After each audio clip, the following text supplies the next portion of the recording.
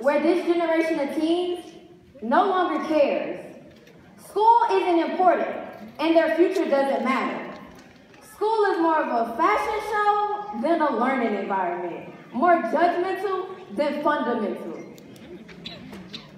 As soon as you walk through the front gate, somebody is staring you up and down. If you're not wearing the nicest shoes, the flyest clothes, driving the hottest car, or don't have 22 inches. if your face ain't beat, eyebrows not on fleek, you probably should have just stayed home. The teens of 2016 focus is now more on brands. Meanwhile, the fate of their future relies in their hands. And let's not forget how everybody tried to get the tea. Screenshot in the group text, talking about how Mike and Rachel broke up and James got caught up. Hmm.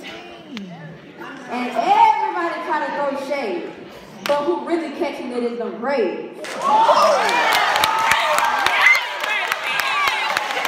Instead of worrying about A's and B's, you're more worried about Twitter beef. And meanwhile, you in the courtyard fighting, you probably should be preparing for your ACT writing.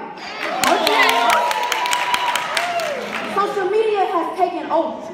Your likes, retweets, and views shouldn't define you.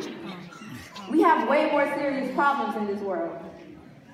Aren't y'all tired of classmates dying, guns firing, parents crying, bullets flying, mm-hmm. crime after crime after crime committed by our teens. And why are we concerned about our health when HIV and STDs are being passed around like weed?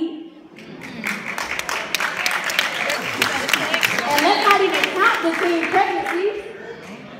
Stop trying to be cool.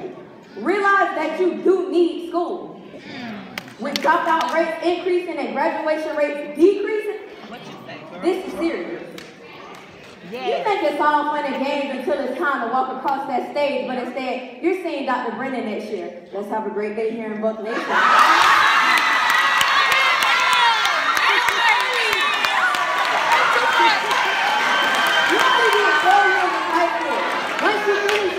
A whole new world that's new. Team of 2016, open your eyes and see the view. We have to make a change and make one quick because sooner or later, this generation won't exist.